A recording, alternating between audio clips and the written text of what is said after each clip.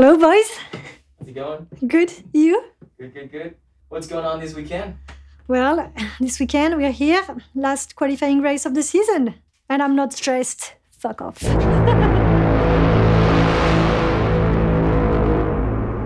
It's the Skyrhune, which is the last chance for the runners to get a golden ticket. There's already 11 people who are guaranteed to get those places. So for everyone else, they're having to fight in this last race to get every point to make sure they're one of the others. My name is Karina Carsolio. I'm from the Salomon running team and I'm from Mexico. And Karina Carsolio from Mexico was third at Dolomites after a very impressive downhill. Indeed, Martin. Let's see if she can confirm today on a similar type of terrain here in Ascain. I was really looking forward to that race because it's a course I really like. Like, I love technical stuff, but Sierre-Zinal was terrible. Um, I'm not a very fast runner, and Sierre-Zinal is definitely really fast. Even though it's like always going uphill or downhill, it's very fast. So pretty sure I'm sitting like at 15 or 16, something like that. So I need to like do really good on this race to be able to get in. Cabin crew ready for departure. At the moment on the overall ranking I'm 11th, which is a tricky spot because there is still a lot of girls who only have raced twice. So if they race a third one and they've got good results, they'll probably get ahead of me, which means I'll get out of the top 11th. So not only do I need to score big points, but I also need to stop fast girls to score points as well, which is why I'm here.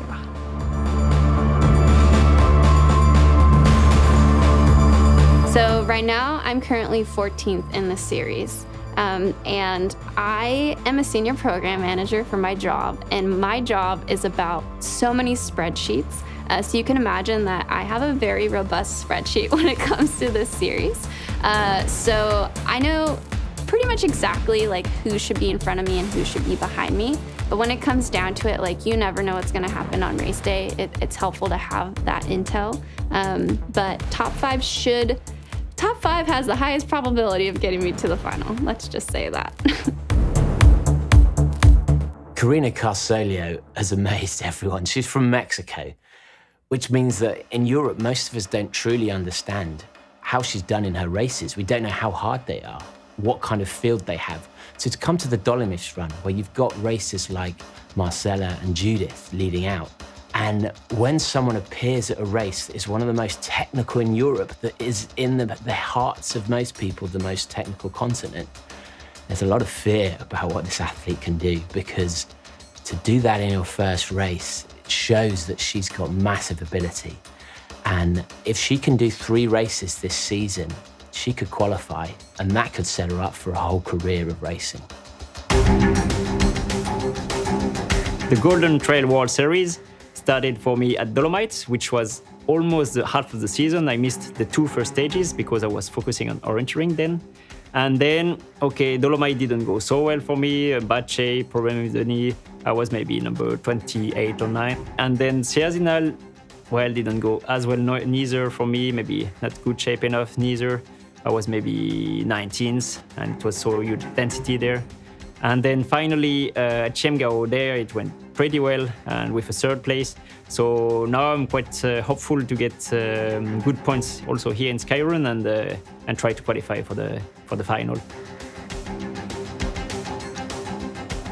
There's two men who so far have the potential to do really well at the Skyrhune, but have actually had some bad results so far. And if they don't do well today, just won't qualify.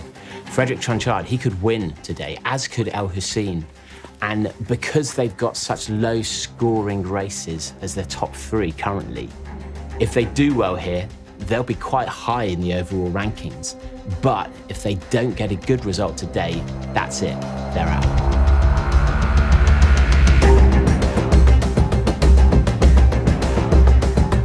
I'm not 100% sure, but uh, I feel that my knee is uh, back on business, and uh, I think it in his better, best shape it has ever been this season so far. So, um, yeah, I'm I'm quite confident actually.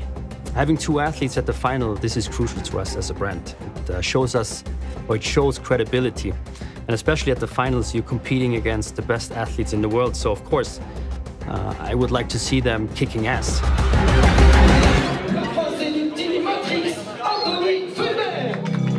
Hi, I'm Anthony Felber and I run for the Team Matrix and I'm from France. One of the teams that's been really impressive this season has been Team Matrix. They've got two people that can potentially qualify for the final, which when you think of the names of the brands and the established other runners out there, to do that so quickly is, is really admirable.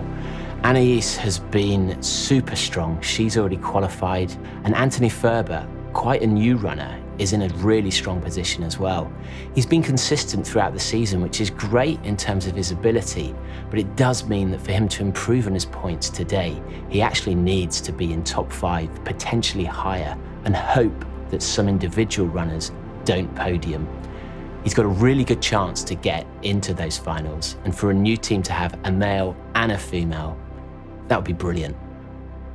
You guys are ready? You nervous? Yeah, yeah. Nervous? yeah. Hi, my name is Thomas Janichon. I'm the manager of Team Matrix and I'm from France. Team Matrix is an independent French structure of trail running. Um, the goal is to try to reach a top world class level, but with a different approach than the, the brands. In the mental approach, but also the physical approach, but also the familiar approach, and finally, their balance between school, university, work, and high-level sports. 4, 5, 6. And for example, we can maybe have three athletes on the final just after two years and a half. So it's so cool. Just behind Salomon, I think we, we can be the second big team uh, of the world. so let's let's see. I'm coming. I think um, if I could reach the place between the six and the eight, it could be a, a good position to secure and to have a ticket for the final. But I will do my best for the race and then uh, we will see uh, at the finish line. Uh, we are at the last stage of the Golden Trail World Series in Skyrhune, Ascain, and uh, we are gonna get really hot and messy, and it's gonna be a really good time. when I said yesterday I wasn't nervous, I think I was lying because it all caught up to me today. So I'm gonna go to the bathroom. I had never started a race before that was so late, right in the middle of the sun. So I'm usually, we usually start all races in the morning. So it was definitely something out of like the usual on my comfort zone. it was really hot. And yes, the crazy sky run is on. The last qualifying race of the season. Absolutely, Pau. And let's not forget, it is the athletes' last chance to punch their ticket for the final of the Golden Trail World Series in El Hierro. We can see that Bart went out super fast, taking the lead. He's alone a few meters in front of the rest.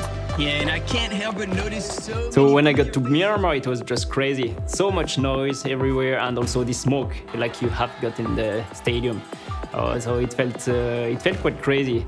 I was a little bit expecting it because I knew it would be like that, but it was, I think, even more crazy than I thought. So it gave so much energy. You, you just want to fight then. you want to run hard.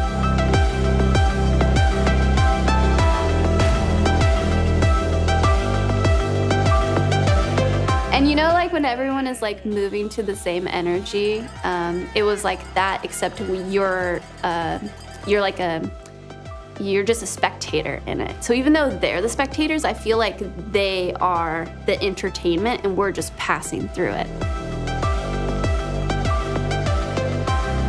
This season, I think in many races, I've been a bit conservative, a bit scared of blowing up, and I've ended up always finishing the race like, ah, this was okay, but never like, oh, fuck yeah. Um, so I think it's the time of the season where I can afford to take more risk and I'm just gonna start as hard as I can and try to hang on. And if I blew up, well, that's part of the game and that will be my fault, but at least I won't have any regrets like I've had in the previous races. Just before Miramar, I started like having difficulty breathing. It was way too hot. I was trying to not to focus on that and then the downhill helped me a bit. I passed uh, Lucille Germain again, and I passed uh, Dani Moreno. But then then like it was super humid and hot and i just i i was having a lot of problems there and they passed me again and i was i just kept looking at my watch and like uh, i was not going at the rhythms that i'm used to and mentally it was really hard too like i was having trouble yeah All right, and they're now starting the first descent of the race, and Fred Tranchand from Team Scott has now taken the lead. Yeah, that's right, and Elhousine Elazzaoui and Sylvain Cachard are right behind. And look, just a few meters back, we have Johan Bojar from Team Matrix. The whole group is running together from the very beginning. We should be seeing some moves soon. Fred is still on the lead, and we will see if he can hang on to it. Oh, and look at that! Look at that line from Johan! He's definitely fresh to have such awareness and go through it with such flow! It's a very hot day here, and you see the runners taking the time to wet their caps during the river crossing. The start of Skyrhune was crazy. Fred was leading the race, and Iris was battling against Elise uh, for the podium. So I really hope that they pull it off and, and stick with their with their current position.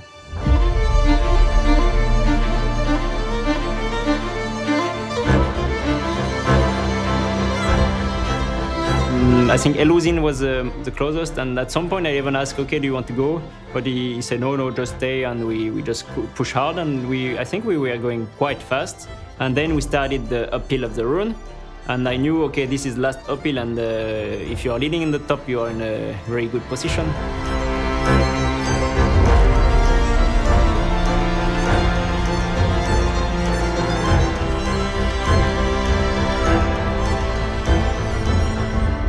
When I arrived at the summit of the first uh, climb, it was uh, at Miramar.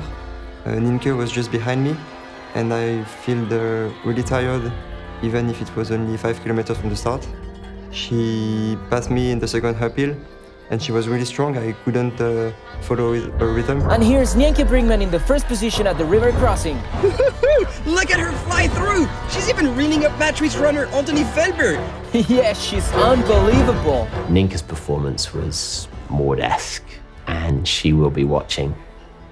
She didn't even look like she was trying. She didn't need to. And this was a technical course, and the big question about her is whether, when it comes to technical terrain, she can keep on running at that pace. We're not sure yet, but it's looking good. Behind her, we had Iris, Karina, and Dani all trying to get on the plane.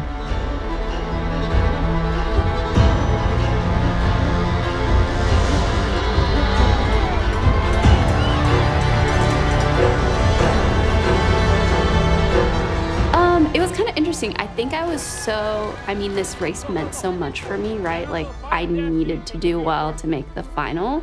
That in the first couple sections, it was almost like it passed me by. And then as the race developed, like, I was like, well, this is cool, you know? I passed Iris. I think I passed Lucille. And then I could see third and fourth, like, in the distance. And I was like, whoa, I'm actually, like, moving up. Oh, check this out. It looks like Sarah and Emily have taken the wrong route. What's going on here? They must have kept going on the ridge and missed the left turn towards the last climb to La Rhune. Yeah, and now Dani Moreno moves on to second position in the middle of this confusion. When my muscle shuts down, I just try to not listen to it and be like, Iris, everybody's suffering. Just accept it and keep on going and see how far you can go. I was just like cramping everywhere, so I was like, well, don't destroy yourself even more before the second downhill. Do what you can, try to enjoy it, even if it sucks. Just go until the finish and take it in. It's the last race of the season. At some point in the uphill, uh, I had to walk because it was so heavy. And then Johan, Johan Bojar, which was really strong, he started to pass me. And then suddenly also Jan Margarit came and Pascal, Pascal Egli toward the end of the, of the top. So yeah, that was a tough time of the course.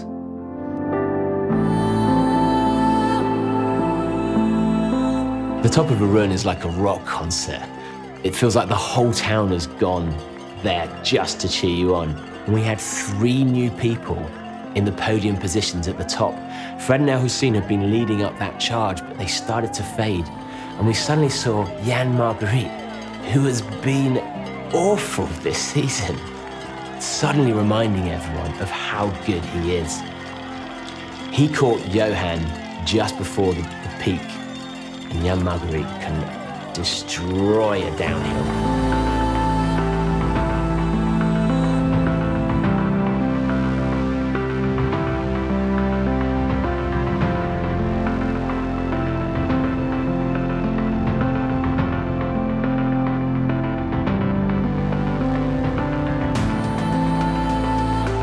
It's like sky running, but with nothing to grab on because there's like pokey things in the grass.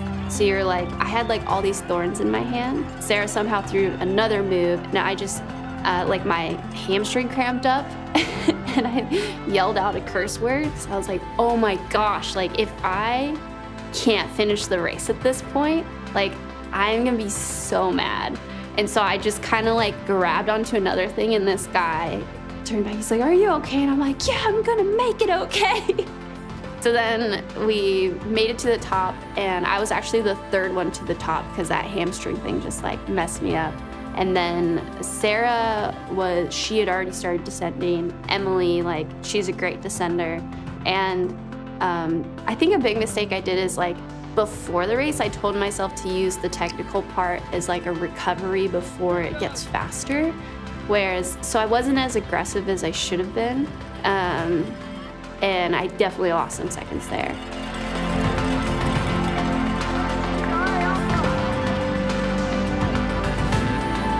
Well, I was really grateful that the clouds came on because doing that uphill with the heat that was uh, before would have been like a total torture.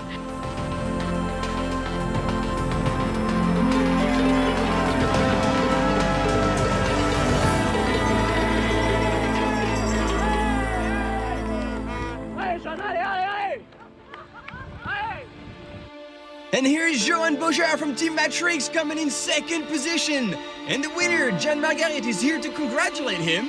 What an emotional moment for both of them here, Martin. Man, I love this sport. Today it wasn't uh, as good as I expected before the race, but uh, for the Team Matrix, it was uh, a really good race with two second place. Looking at the Matrix results, I don't know if they'll be happy or not because starting the day they had two runners potentially qualified and at the end of the day, they've still got that, but it's just not the people you expected. It was a matrix day, as you say, with Ellis finished second, Johan with an incredible race. He passed at, at the top of the ruin first, but he finished second after a big downhill. So yeah, it was totally impressive and also motivating for the rest of the years. So yeah, it's so cool to live moments like this, really, really, really. And Fred Tranchand is coming in fourth and just missed the podium.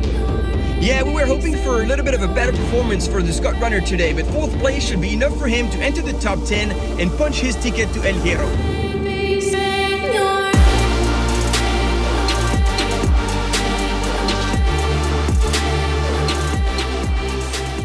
After Skyrhune, looking back at the season, uh, I think I can be really happy and um, because in the beginning it didn't start well at all and uh, I was wondering if I would be able to, to make it and I think the at least the two last races went quite well so so yeah I, I can be really happy with that. And Nienke will take the win. Yes, Pau, and look at that, the Stoke today is as big as her performance. Elise takes the second place. Solid day for Team Matrix. Sarah Alonso rounds up the podium and Dani Moreno is fourth. Aw oh, man, these two really battle. The annoying thing about the athletes on this series is that they're lovely people and you say, right, what do you need at this race? What are you going to do? And they say, I just want to perform at my best. If I race well, you know, things will come to me. But no, this is a competition. You need to know the points you need and who you need to beat and most of the athletes aren't thinking seriously about this. Dani Moreno, however, she works in a software firm, she's clever, she is a cool cat, and she knows with every race what she needs and who she needs to beat. It was just so cool because I feel like for most people, like fourth place isn't isn't anything spectacular. Like I know in the Golden Series, like top five gets prize money and stuff. Um, but I just felt like I was celebrating because I knew that I, I, like made the final, which was a goal that I felt like was really audacious, you know, coming into this. I think I went from like 14th to 8th in the rankings, and it was just all, it was a good day.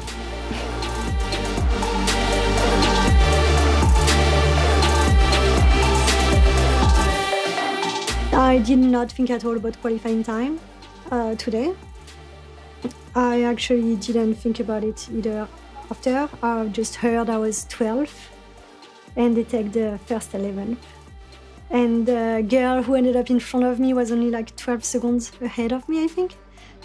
Um, so, yeah, it's, but that's part of sports and I think I'm still happy about my season, especially with how it started so poorly.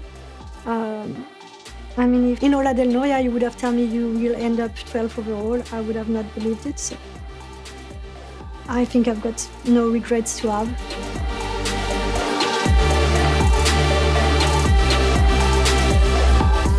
Yeah, so now my plans, um, I'm sticking with plan B. Uh, so since I got uh, a golden ticket on the national series to go race in Azores, uh, I'm doing that. Um, so uh, the stage race is in a month. Uh, and I'll, right now I'll just go back home since I didn't qualify for El Hierro. But I did qualify for the Azores stage race, so uh, hopefully we'll see each other there.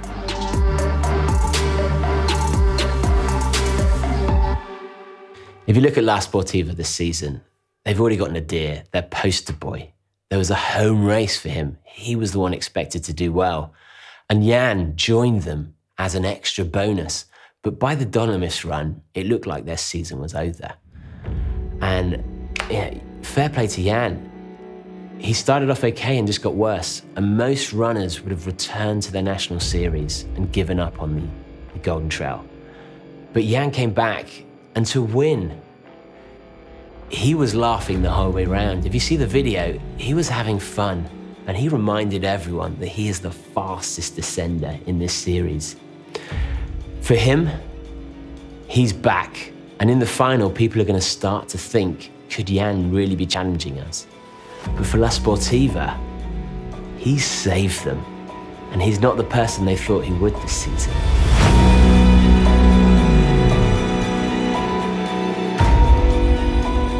My biggest change this, this season is for sure my changing from from Salomon team to La Sportiva team. I started in the elite of trail running where I was 18 and everything comes so fast. Like from one year to another, I was like only in my in my comfort zone with my routine from all my life until that moment. To the next year, I moved to the Pyrenees for studies. I start learning French. I start joining the Salomon international team, and I start like living a life that was like the dream life. At one moment, it stopped due to an injury, and like it just went to zero from full gas to zero again. And I think that's why everything get a little bit strange. I start to to have insomnia and to sleep really bad and not enough. And for maybe two years, I was struggling with uh, not a lot of sleep, and so my body was my body was really tired. Like I couldn't recover as well as as before. My mind was all the time like working, working, working. It was impossible to, to disconnect, and and yeah, for sure, it was not uh, the the cause of it, it was not the real pressure from, from my team or, or whatever. It was more that I didn't know how to manage it. But, but yeah, maybe it was for, for this reason that I wanted to make a change, that I wanted to, to build like a, a team or a structure in my own way. Like I'm quite on my own way and and that's what I like the most from this year is that I can do whatever I want and with the people I, I like uh, close to me. I've had the chance to to enjoy this life and I want to do it again. Like that's the main objective to to be able to to live this life that we are living now as long as possible, as long as I'm enjoying it, and to live it without pressure. We can see the results in Skyrhune and hopefully here too. Like I feel much better. I feel more relaxed, like less tired than than before, and my shape I think it's it's in really in really good shape. When you have a final, you want to show, but you want to test the athletes to their absolute limit. And boy, did they do that. The heat was really cranking up. This is definitely the warmest and most intense race I ever done.